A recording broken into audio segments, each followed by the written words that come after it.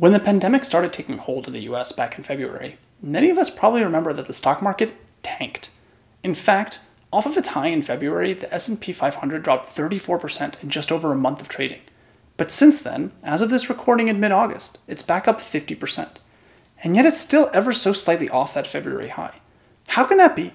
How can the S&P 500 go down 34%, then bounce back up 50%, and still not have fully recovered?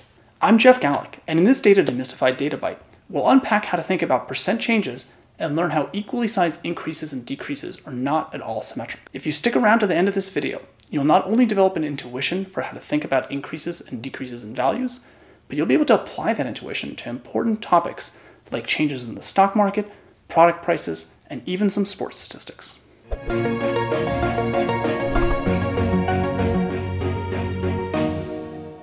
So how did we see a drop of 34%, then a rise of 50%, only to get back to just shy of where we started? To understand that, we need to take a big step back and try to understand how the same percent decrease is very different from the percent increase. To do that, we're going to enlist the help of our friends, the boxes. I actually think that the intuition behind this is something you already likely have the beginnings of, but I'm going to spell it out to make things crystal clear.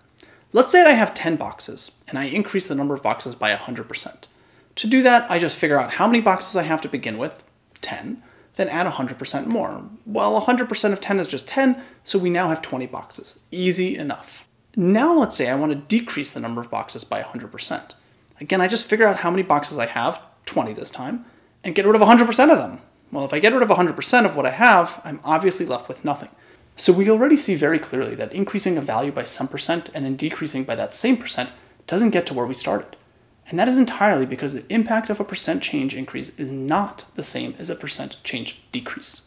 The 100% example is easy enough to follow because we all kind of get that if I take 100% away of anything, I'm left with nothing.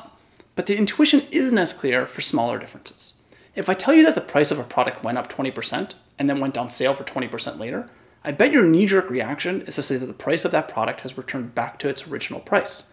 It hasn't. In fact, after increasing by 20% and then decreasing by the same 20%, the price actually dropped 4% overall.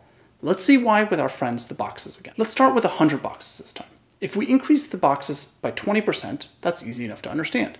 20% of 100 is just 20 more boxes, so now we have 120 boxes. But now we're going to decrease by 20% off this new value 120. Well, 20% of 120 is 24. So when we take away 24 boxes, we're left with only 96 boxes, or 4 less than we had to start. Again, an identical increase and decrease in percentage terms results in something other than our original value. I think this is particularly unintuitive because we're used to adding and subtracting a whole lot more than multiplying and dividing. If I have 100 boxes and add 10, then subtract 10, we are back to where we started. But as we saw a moment ago, that's not true for increasing and decreasing by percentages. So how do we fix our intuition to make this idea really clear? Before we get into that, if you like what you see, please take a moment to like this video, subscribe to this channel, and click that little bell icon so that you don't miss out on any new content that I put out. With that said, let's work on that intuition behind percent differences. The key here is realizing that percentage differences are always relative comparisons. That means that 10% in one context isn't the same as 10% somewhere else. This is very different from other types of changes we're used to thinking about.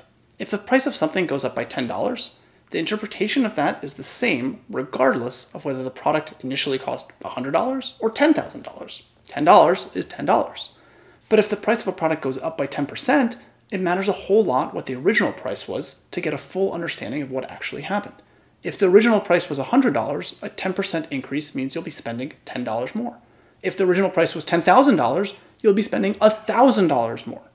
And as we saw before, this is made even more complicated when you have stacked increases and decreases in percentages. Beyond just realizing that percentages are relative, we see stacked increases and decreases in percentage terms used incorrectly all the time, and not just with identical increases and decreases, like with the examples I showed before. For example, a baseball player has a bad season and his batting average goes down by 20%. The next year, he's looking much better and his batting average goes up by a whopping 25%. He must be on fire. Actually, no. He's exactly where he started.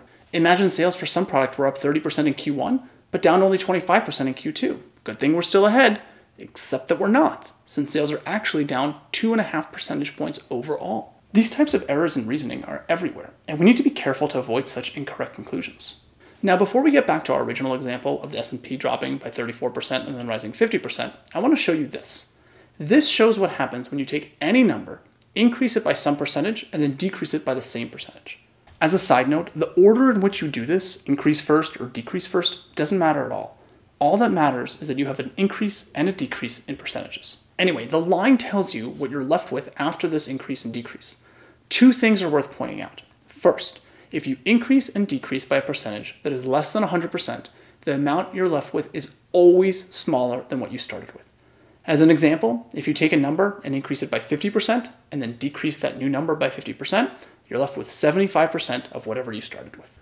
The other thing to point out is that as the percent you increase and decrease by gets bigger, the final value gets smaller.